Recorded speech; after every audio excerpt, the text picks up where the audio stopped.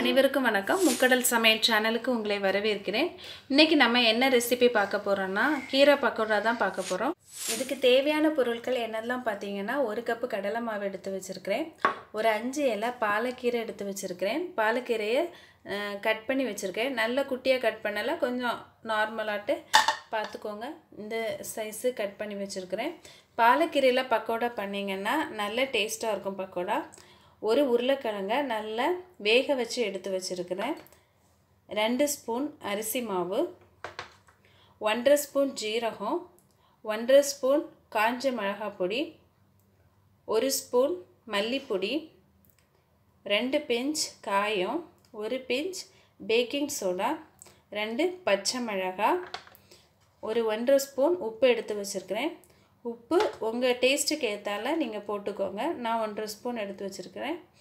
இப்போ நம்ம எப்படி வந்து இந்த பக்கோடா வந்து செய்யலான்னு சொல்லிட்டு மாவு மிக்சிங் பார்க்கலாம். ஒரு பாத்திரத்தில் நம்ம கடலை மாவை தட்டிக்கலாம். ஒரு கப்பு கடலை மாவு எடுத்து வச்சுருந்தோம்ல அந்த கடலை மாவை தட்டிக்கலாம். அப்புறமா உருளைக்கிழங்கு ஒரு பெரிய உருளைக்கிழங்கு நல்லா வேக வச்சு எடுத்து வச்சுருக்கோம் அதை தட்டி எடுத்துக்கலாம்.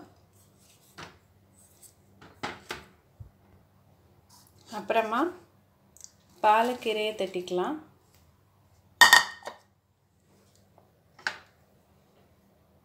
ஜீரகம் வத்தல் பொடி காஞ்ச மிளகாய் பொடி மல்லிப்பொடி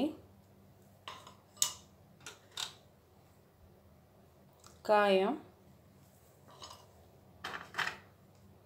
கொஞ்சமாக பேக்கிங் சோடா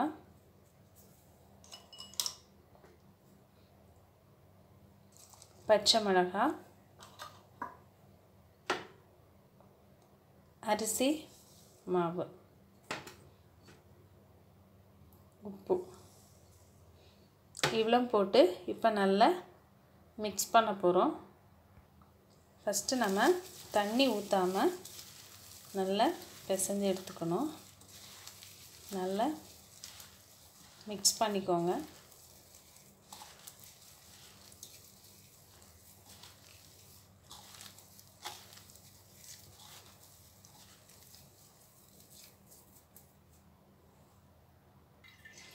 பாருங்கள் கொஞ்சம் ட்ரையாக தான் இருக்குது. இப்போ நம்ம ரொம்ப கொஞ்சமாக லேசாக பார்த்துக்கோங்க நல்லா தண்ணி போல் ஆயிடக்கூடாது லேசாக தண்ணி ஊற்றிட்டு மிக்ஸ் பண்ணலாம்.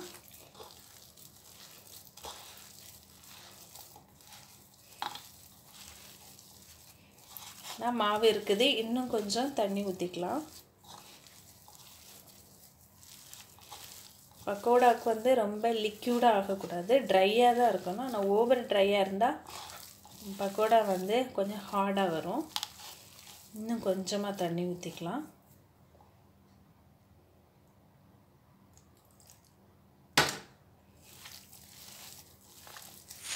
பாருங்கள் இந்த பதத்தில். உங்களுக்கே தெரியுதில்ல நல்ல ட்ரையாகவும் இல்லை தண்ணியாகவும் இல்லை. கொஞ்சம் குழு குழுனும் இப்படி வந்திருக்குது. இதை நம்ம ஃப்ரை பண்ணி எடுத்து நம்ம ஸ்டவ் ஆன் பண்ணி நம்ம ஃப்ரை பண்ணதுக்கு ஆயில் ஊற்றிக்கலாம் கொஞ்சம் நிறையவே ஆயில் ஊற்றிக்கோங்க இன்னும் சூடானதும் நம்ம பண்ணி வச்சுருக்க மிக்சிங்க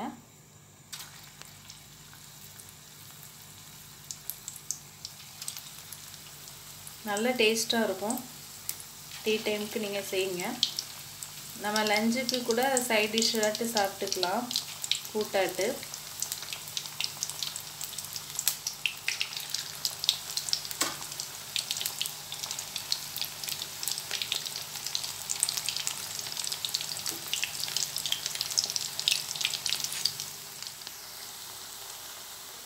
நல்ல டேஸ்டியான கிறிஸ்பியான மொறு மொறு பக்கோடா ரெடி ரொம்ப சிம்பிளான ரெசிபி இப்படி கிறிஸ்பியாக நல்ல டேஸ்ட்டாக செய்து சாப்பிட்லாம்.